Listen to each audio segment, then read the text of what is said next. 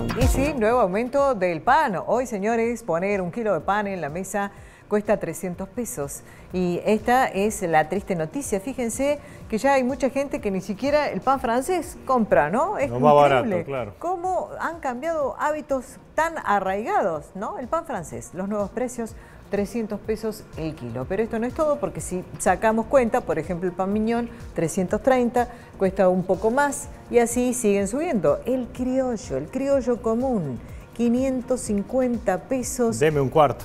El kilo, el kilo.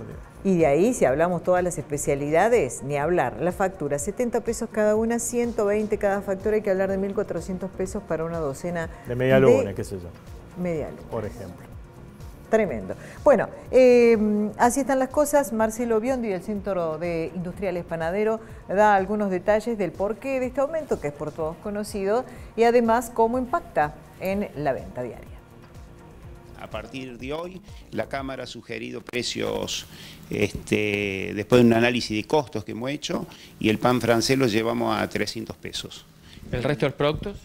El pan miñón 330 y el criollo 550. El pan vuelve a subir de precio.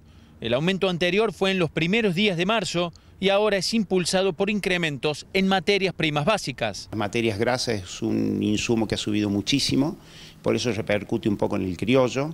Este, la harina también se ha ajustado bastante y después el resto, descartable, ha habido suba de combustible, que eso impacta directamente en todo lo que es transporte. ¿no? ¿Cómo va a incidir este aumento en las especialidades que también son importantes dentro de una panadería?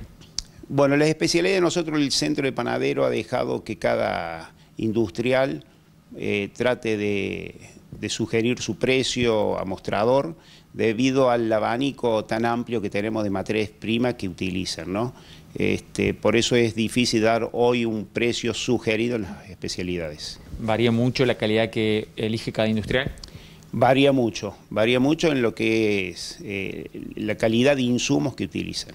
Bien. ¿Qué eh, ocurre con el precio de ese pan que en, los barrios, en algunas despensas se consigue a un valor mucho más bajo? Eh, ¿Por qué se da esa disparidad de precio?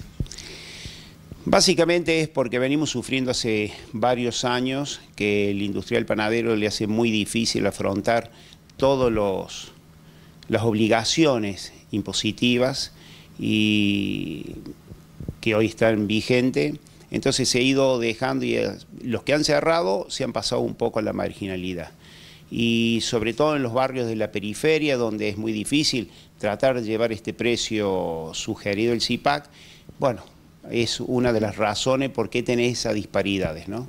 Bien, eh, con eh, los problemas derivados del conflicto bélico en Europa, el trigo empezó a subir de precio e incluso también empezó a ser demandado desde otros mercados. ¿Hoy se consigue harina en tiempo y en forma en nuestro país?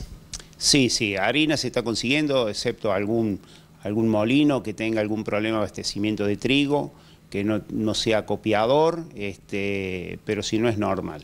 ¿Y a qué precio? Alto, está arriba de 2.000 pesos la bolsa de 25 kilos.